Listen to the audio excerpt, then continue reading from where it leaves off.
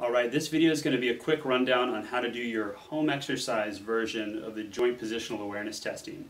Um, you can download this target off our website and print it off, stick it on your wall, and all you need is the uh, home exercise kit with the head strap and laser pointer.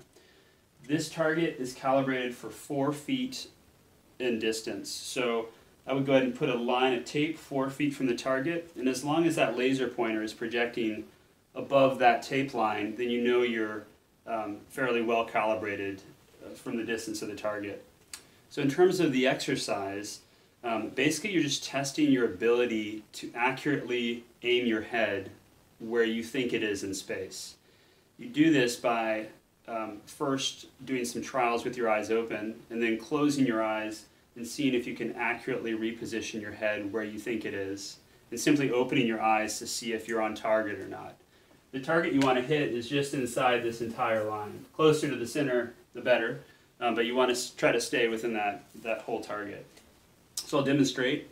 I'm just going to throw on your laser and just stare first at the center of the target and then go ahead and aim the laser to where you're staring at the center of the target and that'll kind of calibrate um, your, your position in front of the target. So I'll first demonstrate just rotation right. So we're going to look to the right and then back straight. Look to the right back straight. You can do that three to five times. And then you can close your eyes, rotate to the right, come back and open and see where you are on target. And then reposition, close your eyes, rotate away, come back, open. Close your eyes, rotate away, come back, open. You can do this in any position. So if you want to um, look at your positional awareness uh, looking up, you can kneel on the ground and then first look up at the target, turn on the laser, calibrate it,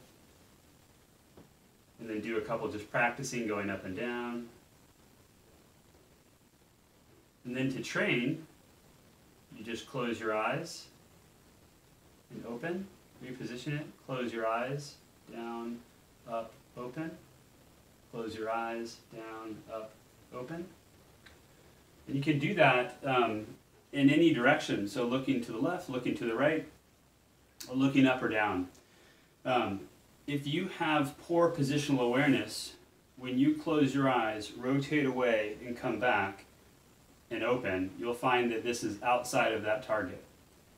So if you find that, that might be something you want to practice, and you can practice by simply repeating the exercise and becoming more and more accurate.